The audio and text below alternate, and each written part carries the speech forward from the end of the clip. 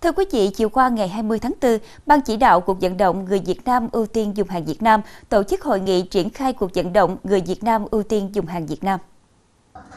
Năm 2022, với quyết tâm phục hồi và phát triển kinh tế sau đại dịch, cuộc vận động người Việt Nam ưu tiên dùng hàng Việt Nam đã được cấp quỹ đảng, chính quyền, mặt trận tổ quốc và các đoàn thể chính trị xã hội, các cơ quan đơn vị và các tầng lớp nhân dân trên địa bàn tỉnh Bến Tre thực hiện tích cực.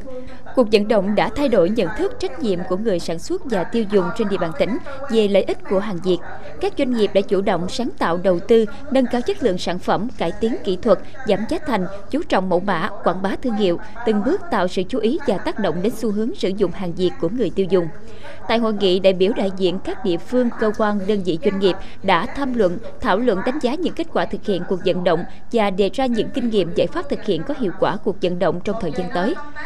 Phát biểu tại hội nghị, Chủ tịch Ủy ban Mặt trận Tổ quốc Việt Nam tỉnh Bến Tre, Phó trưởng ban thường trực Ban chỉ đạo cuộc vận động người Việt Nam ưu tiên dùng hàng Việt Nam, Nguyễn Thị Hồng Dung nhấn mạnh, Ban chỉ đạo cuộc vận động người Việt Nam ưu tiên dùng hàng Việt Nam cần tổ chức triển khai thực hiện tốt các chỉ thị của Ban Bí thư, Thủ tướng Chính phủ và kế hoạch của tỉnh về tăng cường thực hiện cuộc vận động người Việt Nam ưu tiên dùng hàng Việt Nam trong tình hình mới. Các sở ngành liên quan tiếp tục có sự phối hợp chặt chẽ, đảm bảo công tác tuyên truyền sâu rộng ý nghĩa cuộc vận động, tăng cường các giải pháp hỗ trợ, tạo điều kiện cho các doanh nghiệp phát triển sản xuất kinh doanh. Ban chỉ đạo các cấp tiếp tục rà soát để kiện toàn lại ban chỉ đạo xây dựng quy chế, phân công trách nhiệm cho từng thành viên ban chỉ đạo nhằm triển khai các nội dung cuộc vận động năm 2023 đạt kết quả tốt.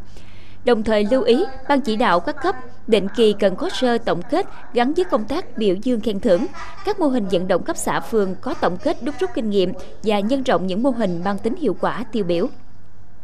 Cũng tại hội nghị, Ban Thường trực Ủy ban Mặt trận Tổ quốc Việt Nam tỉnh và Sở Công Thương đã ký kết chương trình phối hợp về việc đẩy mạnh cuộc vận động người Việt Nam ưu tiên dùng hàng Việt Nam trong tình hình mới.